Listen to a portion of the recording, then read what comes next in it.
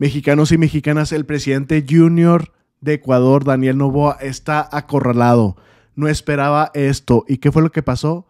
Pues la mamá del ex vicepresidente Jorge Glass, del, ahora sí de la persona que secuestraron de la Embajada de México, lo acaba de denunciar. Así es, mexicanos y mexicanas. Y bueno, también el presidente AMLO le contesta a esta contrademanda patética que hizo el gobierno bananero de Javier, de Javier Milei, de Daniel Novoa. Bueno, vamos a lo primero. Madre de Jorge Glass, ex vicepresidente de Ecuador, denuncia a Novoa por secuestro y tortura contra su hijo. Es la primera vez que la Fiscalía Mexicana inicia una investigación penal por un crimen presuntamente cometido por el jefe de Estado de otro país. Ojo con eso, mexicanos y mexicanas. Vámonos a la información. ah, bueno, eso ya se los acabo de leer aquí rápidamente. Luego un poquito más grande, ahí está. Norma Mercedes Espinel Araúz, madre del ex vicepresidente ecuatoriano Jorge Glass, interpuso una denuncia contra el presidente de Ecuador, Junior Daniel Novoa y otros altos funcionarios de su gobierno por los delitos de tortura, secuestro, violación de los derechos eh, de la humanidad y desaparición forzada en prejuicio de su hijo. Si, se, escucharon bien mexicanos y mexicanas, no solamente de Novoa, de varios funcionarios del gobierno bananero de Ecuador. Espinel, que reside en España, elevó eh, la querella en compañía de sus abogados Miguel Olmedo Robles León, Juan Manuel Torres Salgado y Moisés Augusto Montiel Mogollón ante la, eh, la perdón, de la fiscal general de México en la embajada del país azteca el pasado 26 de abril. Además de Novoa, en la lista de denunciados figuran, escuchen muy bien, porque esto es importante, la ministra de Gobierno, Mónica Palencia, el comandante general de la Policía Nacional, César Zapata Correa, el jefe del Comando Conjunto de las Fuerzas Armadas, Jaime eh, Vela, y la juez de la Corte Nacional de Justicia del Ecuador, Rita Anabel Bravo Quijano. Se me dice que la, ministra de gobierno, Mónica Palencia, es la, la mexicana, la traidora, la que también ahí estuvo eh, en esta situación y que fue pues las que dio la, obedeció la orden, en pocas palabras, de Daniel Novoa. Imagínense. Bueno, y aquí está la publicación oficial. Ahorita les leo la publicación oficial. Reforma apunta que en México no existe antecedentes recientes de pesquisas llevados a cabo de la, de la FGR por delitos presuntamente perpetrados por el presidente de otros países, quienes gozan de inmunidad penal en muchos casos, exceptuando los crímenes considerados de extrema gravedad. ¿Y qué es lo que pasa aquí? Pues con estas denuncias, ya este señor, Daniel Novoa, el Junior, ya cuando no sea presidente puede ser extraditado la querella. De acuerdo con la denuncia, Glass fue secuestrado por órdenes del mandatario ecuatoriano el pasado 5 de abril a las 22 horas por un contingente de más de 10 agentes de la Policía Nacional mientras se encontraron en la legación diplomática mexicana en Quito, tras lo cual siguieron torturas. Imagínense. Y sí, ya está comprobado que lo torturaron, que le produjeron al el dislocamiento de los dedos pulgares de sus, eh, de sus dos manos, amenazas como para que te para que te para que te acuerdes de mí, así le dijeron a Jorge Glass.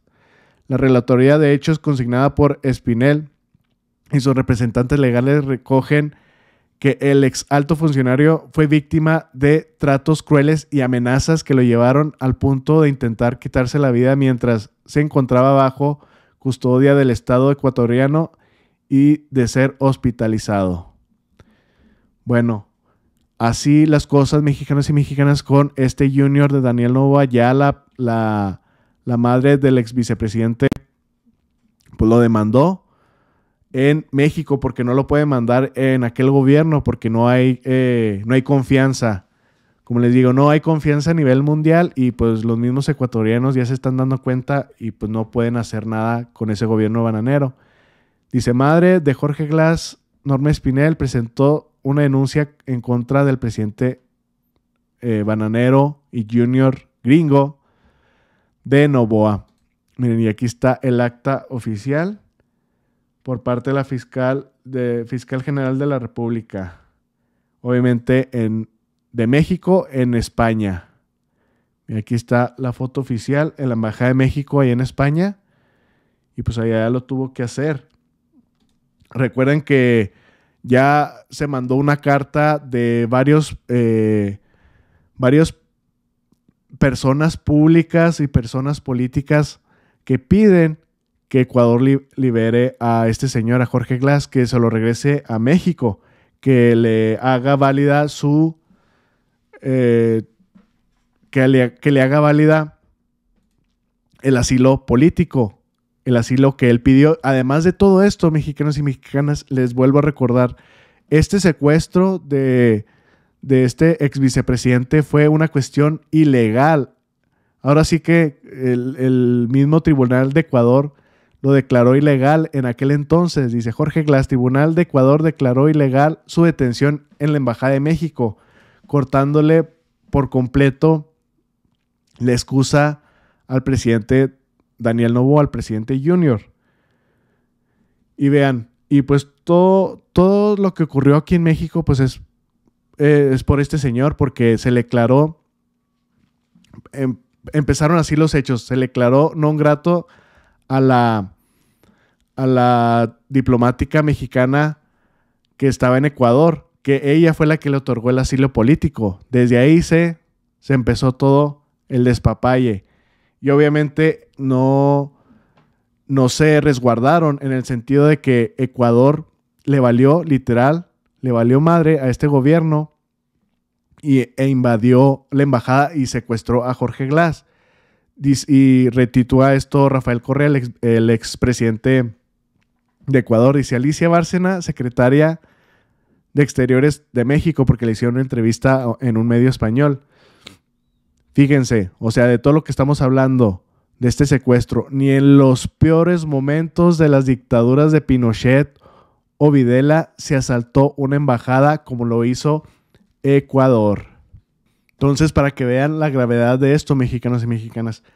Pero bueno, ya está por parte de la madre del ex vicepresidente Jorge Glass, ya está una demanda, eh, demanda directamente contra Daniel Novoa y varios eh, funcionarios de allá de, de Ecuador. Ya les leí la lista quiénes fueron. Y también está la demanda por parte de aquí en México, lo que hizo eh, Noroña, pidiendo que se extradite y se encierre a Daniel Novoa. Y, puede ser, ya cuando él no tenga fuero, ya cuando él no sea presidente, ahí sí podremos actuar. Y aparte porque lo que va a pasar en realidad, mexicanos y mexicanas, es que la, la Corte Internacional de Justicia le va a dar la razón a México. Eso es obvio. Nomás vamos a esperar que pase todo el proceso y le dé la razón a México y luego de ahí se brinque a la ONU, donde, vayas, donde va a ser suspendido hasta que no regrese, no, no regrese a Jorge Glass, no, no sea extraditado a México y no pida disculpas este junior hacia México, donde admita que obviamente lo que hizo estuvo mal. Dice, bueno, ya le leí esto de que ni siquiera en las, en las peores condiciones se habían invadido embajadas. La, canciller mexicana eh, repasa en una entrevista con el país el conflicto con Quito y los principales desafíos diplomáticos de México. Si nos dan un salvoconducto y entregan a Jorge Glass, podemos dialogar con Ecuador. O sea, aquí ya le está poniendo la solución para Ecuador. Si quieren dialogar, bueno, tienen que entregar primero a Jorge Glass. La DEA interviene muchas veces en México sin que tengamos sin que tengamos conocimiento y eso lo tenemos que evitar. Bueno, este ya es otro tema, lo de la DEA. Y vean, nuevamente mexicanos y mexicanas, ¿qué opinan los ecuatorianos por esta cuestión de este conflicto que obviamente comenzó por parte de Daniel Novoa? Vamos a ver qué opinan y luego por último ya nos vamos con eh, lo que dijo el presidente AMLO por esta contrademanda, ahora sí que estúpida, por parte del gobierno bananero de Daniel Novoa. Esta contrademanda en la misma Corte Internacional de Justicia contra México. Día doloroso para Ecuador. Hoy es uno de los días más vergonzosos para el Ecuador. Hoy es uno de los días más tristes para el Ecuador. La OEA se reunió y absolutamente todos observaron negativamente al Ecuador. Todos, ni uno solo le abrió una puerta de gracia o de justificativo a su accionar totalmente equivocado. Recibió muchos golpes verbales, diplomáticos, de estas explicaciones expuestas. Yo rescaté algunas de ellas. El caso de Honduras. De Honduras hizo una presentación magistral, excelente. Hizo una pedagogía muy buena, muy sencilla para comprender el suceso. Y tomó el ejemplo de Lula. Ojo.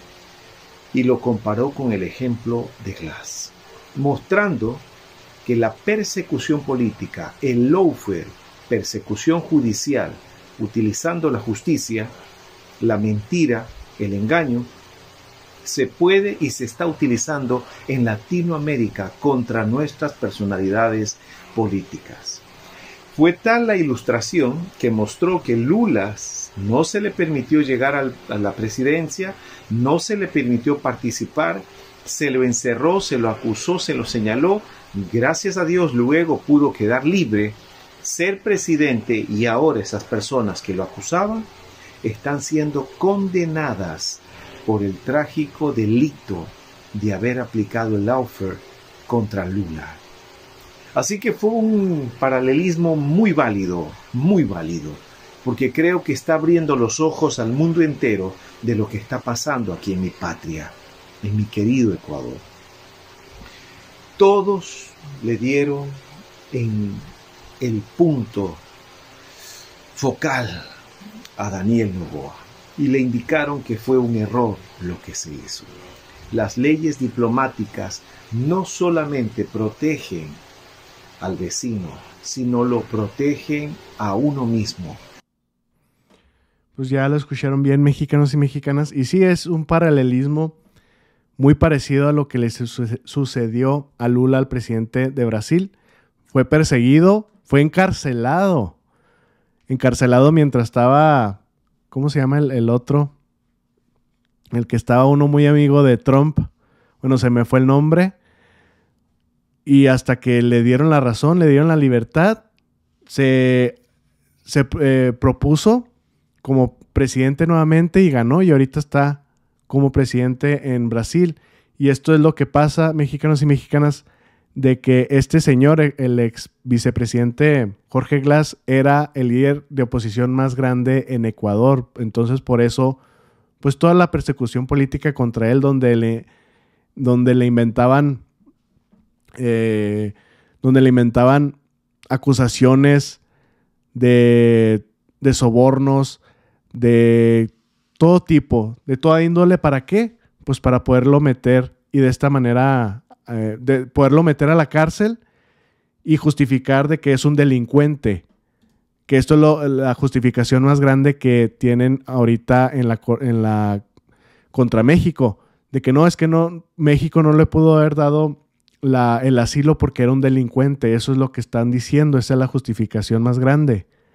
Bueno, vámonos ya por último con la opinión del presidente AMLO por esta contrademanda de por parte de Ecuador contra México, por lo que ya sabemos que ha ocurrido. México, Veracruz, Puebla. Em, señor presidente, en días anteriores eh, se dio una contrademanda de Ecuador hacia su gobierno. Eh, me gustaría saber qué es lo que opina. Bueno, y esto fue a causa y em, por haber dado eh, asilo al expresidente. Eh, pero me gustaría saber qué opina usted de estos acontecimientos y cómo va hasta este momento, qué es lo que ha pasado, qué avances ha habido. Eh, y también saber, pues, si en algún momento, eh, nos había comentado, si en algún momento va a traer a los diplomáticos de la que estaban en la embajada mexicana en Ecuador. Bueno, ya los diplomáticos están acá. Sí, sí, ya están acá, pero sí los va a traer a la Eh, ah, mañanera. Dices a, Aquí, aquí sí, a la mañanera. conferencia. Sí, los vamos a traer. ¿Ok? ¿Cómo Sí, para cuándo sería? Este, pues nos ponemos de acuerdo. em, puede ser la semana próxima Ok, que estén con nosotros, que ellos expongan sobre lo sucedido. Y lo otro pues está en el Tribunal Internacional de Justicia Justicia. y nosotros estamos sosteniendo que se violó el derecho internacional, violaron nuestra soberanía y se violó el derecho de asilo. Eh, Eso es lo que estamos planteando y queremos que se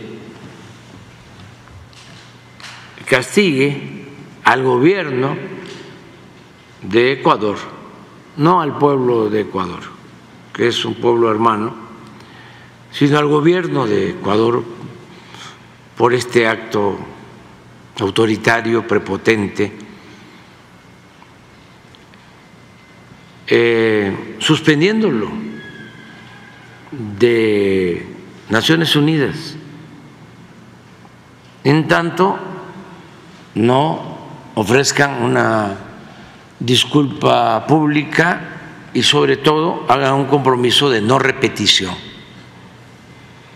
Pero además queremos que se establezca un procedimiento que aplique mundialmente para que cualquier gobierno que viole la soberanía de un país eh,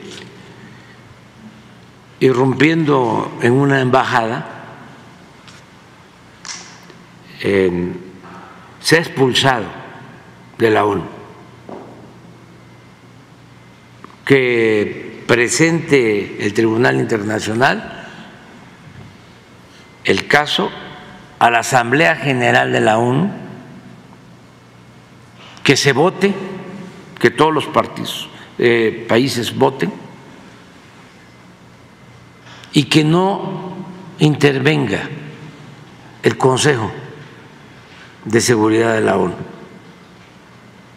en especial que no ejerza ninguna de las potencias, de las cinco potencias que tienen eh, derecho a veto, ese privilegio que es obsoleto, porque no resuelven nada, nada, nada, nada en Naciones Unidas, está como florero, porque todo tiene que pasar por el Consejo de Seguridad y hay cinco naciones que tienen derecho a veto. Entonces, una nación veta y aunque la mayoría de los representantes de los países esté de acuerdo, no pasa. Y eso ya hay que modificarlo. Entonces eso es lo que estamos eh, proponiendo.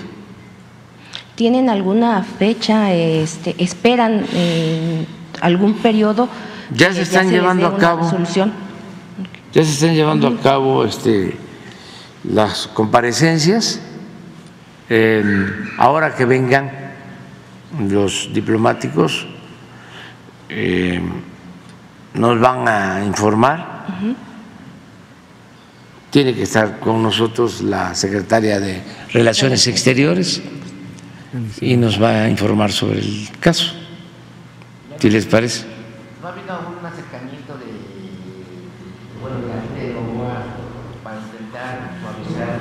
No, no, y además este, es un asunto también de principios.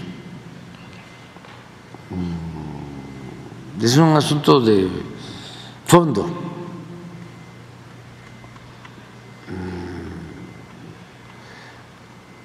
Es que fue muy grave lo que sucedió. O sea, imagínense que hay alguien que tiene asilo, que entran a la embajada y se lo llevan. Eso es violatorio de todas las normas de política exterior. Y sí, desde luego que nosotros eh, queremos, se han manifestado pues muchos países dirigentes pidiendo que eh, le eh, permitan al expresidente Blas que pueda ah, este, recibir el asilo que se le ofrece en México y que sea trasladado a México. Pero eso lo tienen que hacer, lo deben de hacer. Pero es una parte. Lo otro es, nosotros eh, vamos a continuar con la denuncia, porque ya también es tiempo de poner en claro para qué sirve el Tribunal de Justicia Internacional. También para qué sirve la ONU. O sea, eh, son temas muy importantes, porque si no seguimos en la simulación. O sea, eh, y todo es forma y no hay fondo. Son organismos eh, con muchísimos expertos para todo. Pero, ¿dónde está la defensa de los pueblos? Miren lo que está sucediendo con las guerras. ¿Cuántos muertos inocentes? ¿Y qué hacen? pues no hace nada, como dijo el presidente AMLO, la ONU en este sentido es un florero con los vetos de Estados Unidos. Pero bueno, mexicanos y mexicanas, ¿cómo vieron la respuesta del presidente AMLO? Y hizo mención a esa carta que les había mencionado aquí donde él la encabezaba y mencionaron a Silvio Rodríguez y varios políticos y figuras públicas donde pedían que se le aceptara al ex vicepresidente de Ecuador, Jorge Glass, que se le aceptara el asilo político y pues se le hiciera válido aquí su asilo en México.